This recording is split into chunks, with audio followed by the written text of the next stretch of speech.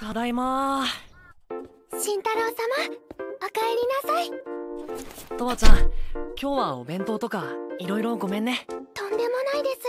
私の方こそいっぱい飛んでしまって。あれ洗濯してくれたの？はい。俺洗濯機の使い方教えてなかったよね。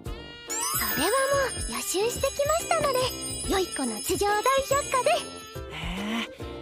さすが良い子の地上うわ俺のパンツダメだ。ここで照れたら変な感じになる。多分とわちゃんが謝る感じになる。